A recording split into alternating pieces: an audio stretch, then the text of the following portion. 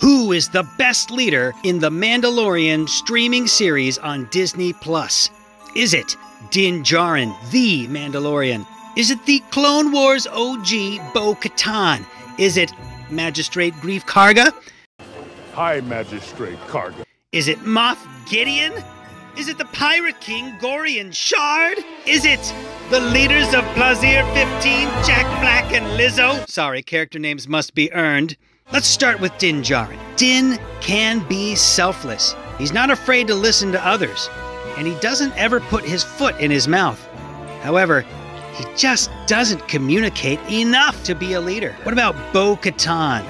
Although Bo rises to the occasion, she just doesn't have much of a plan. She's too reactive to be a leader. Remove your helmet. What about High Magistrate Greef Karga? Well, he is definitely loyal, although he prioritizes fast growth over true strength.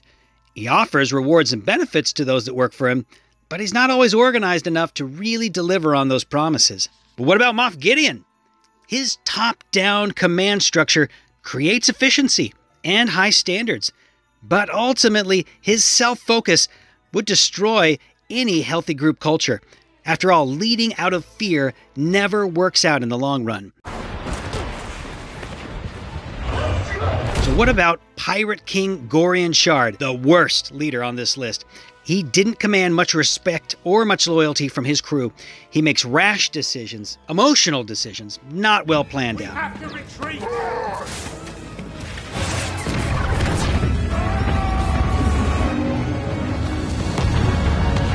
So, who then? Who is the best leader on The Mandalorian?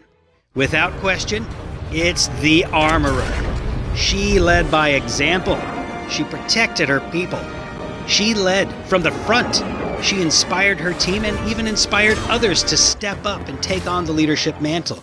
She wasn't afraid to get her hands dirty. And most of all, she balanced accountability with compassion by ensuring appropriate, fair consequences when rules were broken, remained consistent, but still listened to feedback and showed herself to be flexible.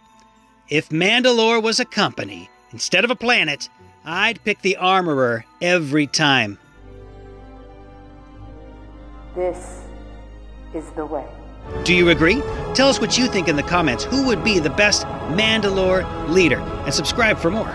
But if you put Jack Black, I swear, I swear,